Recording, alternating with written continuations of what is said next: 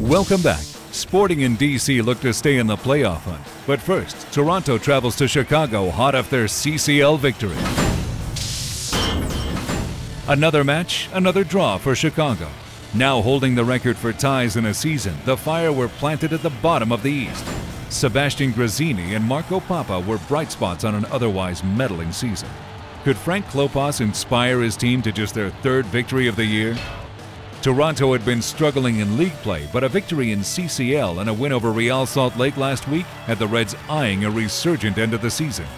With Torsten Frings helping shore up their leaky defense and Ryan Johnson a threat on the attack, Toronto would look to take advantage of a Chicago side that could not close out games. Dan Kelly and Evan Whitfield had all the action from Toyota Park. Sebastian Grazzini, the newly minted playmaker for the Fire, has to play an entire 90 minutes. Spreading it out. Pause will serve a floater in. Chested down by Marco Pappa. Can't turn it towards goal. Nudges to Nyarko.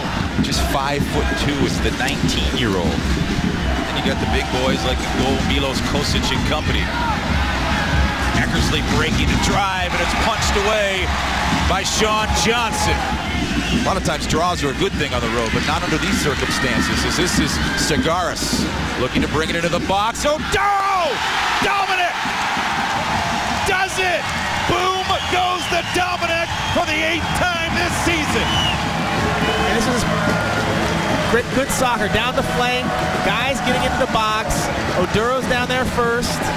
Nice little back heel by uh, Nyarko. And we've talked about Gonzalo Segares getting up the field this year. He hasn't been so sharp with it, but he gets a second chance there.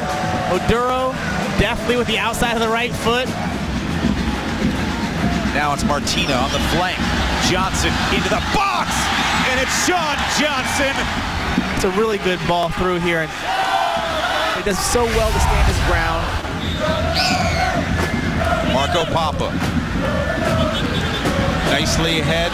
Grazzini holding off. Grazzini the shot. And the save made by Kocic. Two goals and an assist. Four games with the fire for this guy, Sebastian Grazzini. Looking for another assist. Marco Pappa. Follow through. Humongous save. Kocic saving the day for Toronto.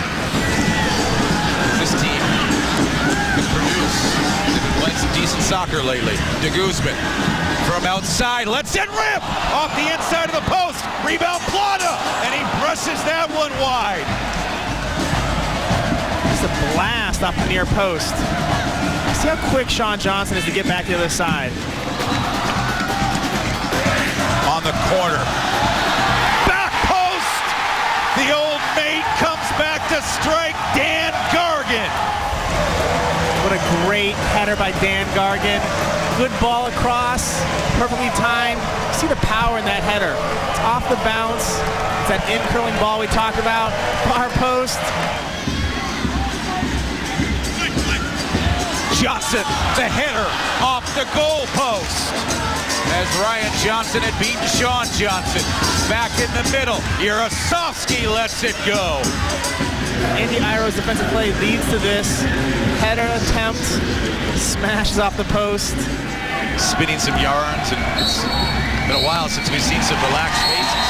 10 match winless drought, too many. It's over.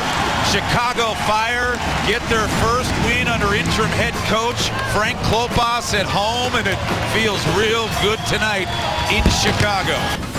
Sporting's playoff aspirations seemed lost during their 10 game road trip to open the season. But the men from Kansas City had turned into one of the most consistent teams in MLS since the opening of Livestrong Sporting Park. With so much firepower, it seemed Sporting's attack could come from anywhere. DC was ready to make a move for the playoffs. With Andy Najar and Chris Pontius leading the charge, it was only a matter of time before the goals started pouring in. And with backup keeper Joe Willis in net, this matchup had all the makings of a classic shootout. Caleb Williams and Jake Yadrich were at Livestrong Sporting Park with the call. Dwayne De Rosario, arguably the greatest duo up top and attacking, not playing tonight.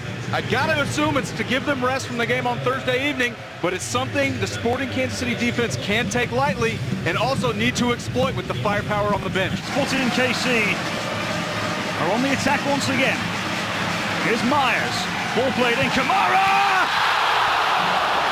And Myers puts that thing up, looks for the big man, number 23, and Kei Kamara, one of the one of the better headers of the ball in Major League Soccer, is able to get up, contorts it, switches it back. Sinovic. He plays a superb ball down the left-hand side. Here's Omar Bravo. Whips a rather tasty-looking ball in. Headed away towards the edge, and Kei Kamara thought about the first time shot, gets it up anyway, and absolutely buries it into the bottom corner. It starts here, Omar Bravo with a great ball in. Both players fight, and it's tipped out to Kamara. One touch to the side, whip it around. Thanks for playing. Kei Kamara, his seventh goal of the season, is an absolute beaut. Just look how hard he hits that. Sporting KC then will thank their lucky stars. The shot coming in from the left of the penalty area. And Jimmy Nielsen once again coming up with the goods. A superb save. Dispossessed by Zusi. Quaranta on the charge again as the ball comes over the top. Ball to the edge. De Rosario! Zusi charges forward. Ball thread through. This is Teal Bunbury! Kamara. And also be Graham Zusi with the drive! Not saved by the goalkeeper! Takes one touch to the side, gets behind it and lets it loose. Joe Willis, good. Joe Willis, good positioning, able to parry that over the bar, resulting in another corner kick for Sporting. Grunier's first touch. Myers bursting forward into fifth gear, down the right-hand side. Myers, a low drive, a great job of Chance Myers by coming up and helping Kei Kamara towards midfield. So with the last chance for DC United, you feel? It's come all the way through for Jimmy Nielsen. And we've had the three minutes of stoppage time. Referee still allowing play to continue. Nielsen with the ball forward. And there we have it. What a win for Sporting KC in their playoff push. The playoff picture is still unclear in the East, with Columbus starting to separate from the pack. The final two automatic spots currently rest with Sporting and Houston. But Philly, New York, and DC are all still in the hunt. It's going to take a drastic change in form and a lot of luck for the Fire, Revs, and Toronto to salvage the season. Out west, the Galaxy appear unstoppable. Seattle overtook second place, but Dallas and Colorado are hot on the trail. There's still a lot of soccer to be played by RSL, Chivas, and the Timbers, while San Jose and Vancouver may look to play spoilers. It was a week where unsung heroes stepped up, causing no change at the top of the Golden Boot race. But as playoff spots begin to dwindle, look for the stars to do what they're paid to do shine. Next week, the playoff push heats up on television. Saturday sees Vancouver host Houston at 7 p.m. on TSN2 in Canada. Then at 10:30, Real Salt Lake travels to Chivas, with both teams looking to end August on a high. That match is on Fox Soccer. Sunday has a battle of giants as Thierry Henry and Rafa Marquez take on David Beckham, Landon Donovan, and Robbie Keane. ESPN2 has the clash at 7 p.m. Finally, the weekends with Philadelphia squaring off with New England on Galavision, also at 7 p.m. In other action around the league, Portland hosts Chivas in midweek action, while Columbus and Seattle square off in a Saturday matinee. Later that night, Toronto and San Jose face off for the first time since swapping four players, and Sporting play host to Dallas. That's all for week 23 of the MLS Review Show. As we push for the playoffs, remember to visit MLSsoccer.com for full coverage of all the news in Major League Soccer.